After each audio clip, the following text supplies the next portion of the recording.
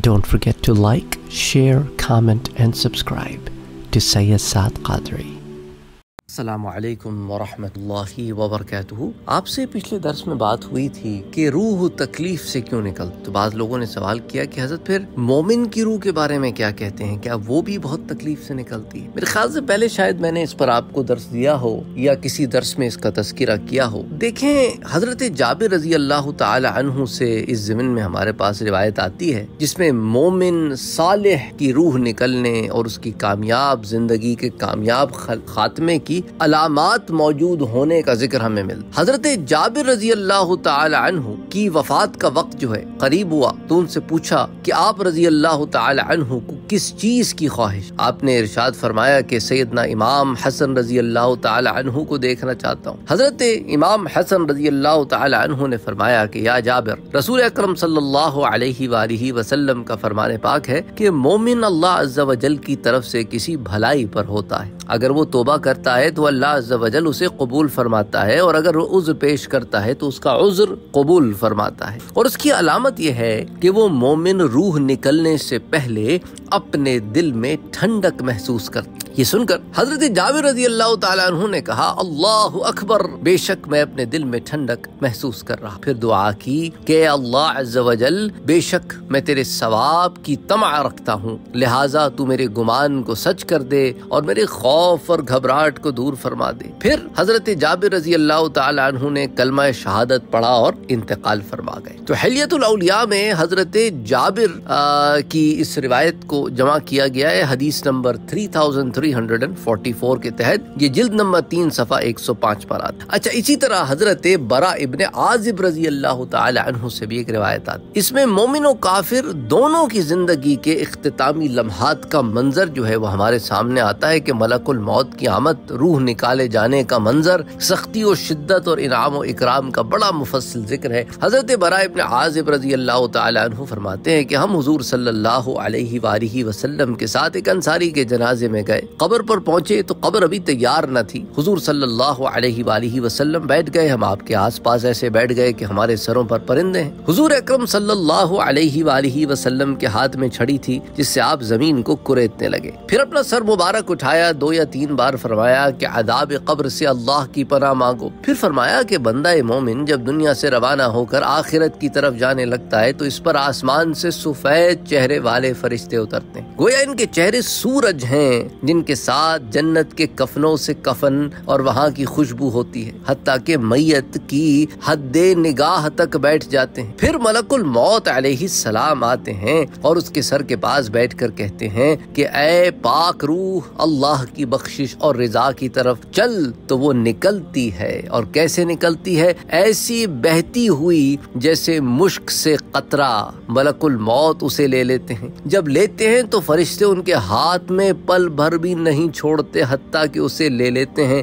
इसको कफन और खुशबू में डाल देते हैं। इस मैयत से ऐसी नफीस खुशबू निकलती है, जैसे रुए ज़मीन पर बेहतरीन मुश्क फरमाया, इसे लेकर चढ़ते हैं तो फरिश्तों की किसी जमात पर नहीं गुजरते, मगर वो कहते हैं कि क्या ही नफीस खुशबू है। ये कहते हैं कि ये फुला इब्ने फुला है, इसका वो आला नाम लेकर जो ज़मीन में लिया जाता था हत्या कि उसे लेकर दुनियावी आसमान पर, यानी कि आसमान दुनिया पर पहुँचते हैं। तो इसके लिए खुलवाते हैं तो खोल दिया जाता है। इससे हर आसमान के फरिश्ते दूसरे आसमान पर पहुँचाने जाते हैं, जहाँ तक कि वो सातवें आसमान पर पहुँचा दिया जाता है। रब फरमाता है कि मेरे बंदे की किताब अलीन में लिखो और इसे ज़मीन की तरफ़ कर दो, क्योंकि मैंने इन्हें ज़मीन ही से पैदा किया, वहाँ ही लौटाऊँगा, वहाँ ही से दोबारा निकालूँगा। फरमाया, इसकी रूह जिस्म में वापस की जाती यहाँ पे जिस्म में रूह वापस करने से मुराद ये नहीं आप समझे। बाज लोगों को जब ये रिवायत पढ़ते हैं तो मुखालता लगता है, वो सवाल करते हैं कि भाई रूह अगर जिस्म के अंदर आ गई तो बंदा फिर उठ के खड़ा हो जाना चाहिए और जीता जागता हो जाना चाहिए। वो जिसको आप रूह का जिस्म में दाखिल होना कहते हैं, वो तो कयामत के दिन ही होगा। यहाँ पर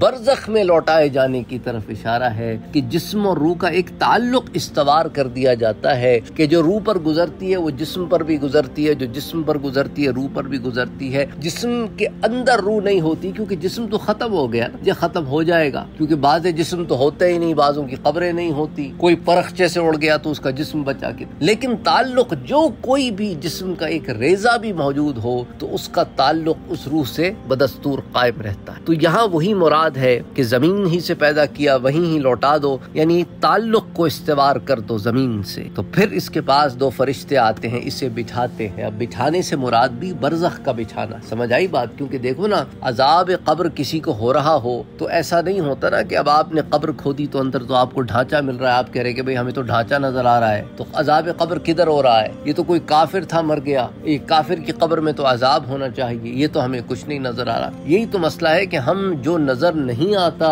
उसे हम मानते नहीं। हमारी नज़र तो अकल कुल नहीं है, ये याद रख। हमारी नज़र कुल इल्म भी नहीं वो चंद मुशाहिदात हैं जिन्हें हम अपने हवास से जाँच सकते हैं लेकिन इसका यह मतलब नहीं कि जो हमारे हवास में नहीं वो इल्म ही नहीं। तो इसलिए उसका बिठाया जाना बरजख का बिठाया जाना है। ना कि उस कब्र का जो अभी आप खोद कर आए। बहुत सारे लोगों को तो कब्र ही नसीब नहीं होती तो क्या मतलब वो फिर सवाल नहीं होता उन, उनसे भी होता है। बाद लोग अपने मुर्दों को जला देते हैं तो क्या उनसे हिसाब नहीं होता? उनसे भी होता है। तो इसलिए इस बात को ज़ाहिर पर महमूल ना करें। तो बहरहाल वो फरिश्ते आते हैं उसे बिठाते हैं और फिर सवाल जवाब का मामला चलता है। उससे वो सवाल पूछते हैं कि भाई तेरा रब कौन है? वो कहता है मेरा रब अल्लाह है। वो कहते हैं, तेरा दीन क्या है? वो कहता है कि, मेरा दीन इस्लाम है। कहते हैं, ये साहब कौन है जो तुम में भेजे गए? वो कहता है, रसूल अक्रम वसल्लम। वो कहते हैं, तुझे कैसे मालूम हुआ? ये कहता है कि, मैंने अल्लाह की किताब पढ़ी, उस पर ईमान लाया, उसकी तस्दीक की। तो आसमान से पुकारने वाला पुकारता है कि, मेरा बंदा सच्चा है। इसके लिए जन्नत का फर्श बिछाओ, जन्नती लिबास पहनाओ और जन्नत की तरफ़ दरवाज़ा खोल दो। फरमाया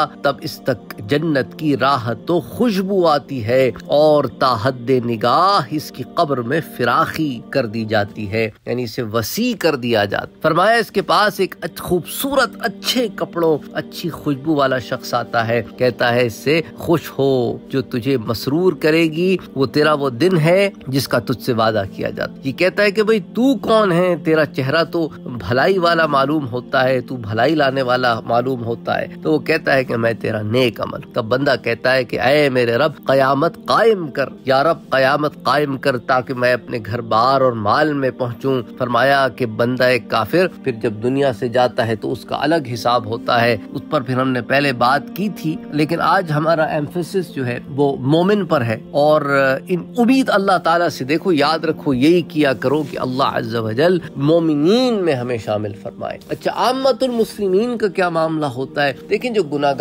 मुसलमान है, उन्हें मौत की सख्तियाँ होती हैं। लेकिन जो मोमिन बंदे होते हैं, उनके बारे में मैंने आपको बताया कि कैसे आराम से रूह निकल जाती अच्छा बज़ाहिर कभी ऐसे भी होता है ना, आपको नज़र आ रहा होता है कि एक शख्स है जो बज़ाहिर तकलीफ़ में मालूम हो रहा है। उसका तकलीफ़ में मालूम होने का मतलब ये नहीं होता कि उसकी रूह के निकलने में भी तकलीफ़ हो रही हो। उसके बदन की तकलीफ़ हो। हम बदन की तकलीफ़ को रूह के निकलने की तकलीफ़ पर महमूल नहीं कर सकते। बदन और रूह के दरमियान ताल्लुक के खत्म होने का कोई भी सबब हो सकता। अच्छा बाज दफ़ा याद रखो कि बाज दफ़ा नहीं बल्कि जो अल्लाह के बंदे होते हैं जो साहिब ईमान बंदे होते हैं जो मोमिन बंदे हों या मुसलमान बंदे हों जो उन्हें मौत की तकलीफ़ होती है ना तो तकलीफ़ का, का होना किसी मुसलमान के लिए मोमिन के लिए उसके गुनाहों के झड़ने का सबब होता और जब उसके सारे गुनाह झड़ चुके तो फिर ये सबब होता है उसके दर्जात की बुलंदी। अच्छा इसी तरह याद रखो कि जो कम सिन बच्चे चले जाते हैं उनके मुतालिक भी मैंने आपसे ज़िक्र किया था कि वो तो कलम उठा लिया गया होता है उन पर से तो उनके तो अमाल नामा बिल्कुल साफ़ होता है। तो उनके भी दर्जात की बुलंदी का सबब और उनकी ज़ाहिर तक जो तकलीफ़ होती है ना, इसके इसके ऊपर उनके बदन से रूह निकलने वाली बात महमूल नहीं होती। वो अलग मामला है। बदन से रूह का निकलना अलग मामला है। जिस्म